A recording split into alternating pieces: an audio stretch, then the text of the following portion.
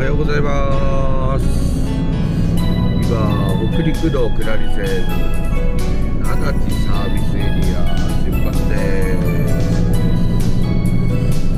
えっ、ー、とね今給油を済ましてきたんですけどよく店員さんに聞かれるのが燃料満タンアドブル満タンでいいですねって聞かれる。んです私のトラックにはドブルーという装置はついておりません、えー、ちょっとそれ聞かれるとねちょっと虚しくなりますはいてな感じでまたまた気仙沼の方に向かっていきたいと思います、まあ、今日もいい天気ですね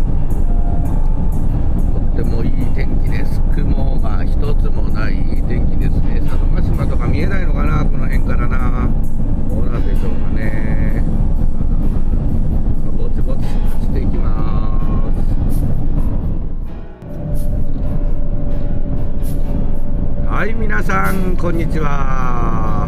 えっ、ー、と今国道7号線いつものあの廃墟ドライブインの表側ドライブインの方にもう少しで到着です。この辺まだ桜が見頃ですね。今日は昼時なんで駐車場の方空いてるかな？どうでしょう？ああ空いてました空いてました。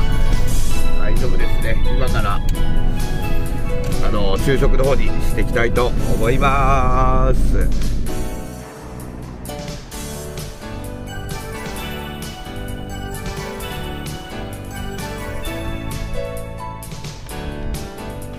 ょっと下向けます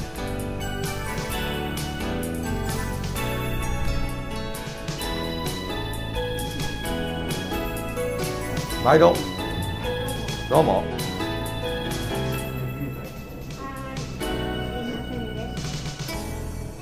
それいいね。それにしましょう、はい、それであと納豆つけてもらえる、はい、あとお母さんお土産。食べてはい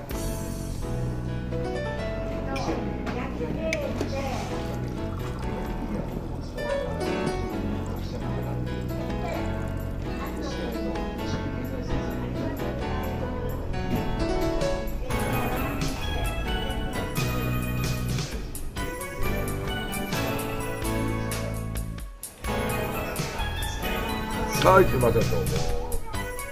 ちなみに今日は日替わりは何だったんですか煮物とカマスうん、あ、カマスだったんだね、うん、あ、すいません。ありがとうございます、うん、美味しそうですね。美味しそう。ご飯は半分です。少ないけどこれぐらいが俺はちょうどいいあと納豆をプラスしてもらって。これ豚肉の焼いたやつですねあとは冷ややっことたくあんと味噌汁。いただきます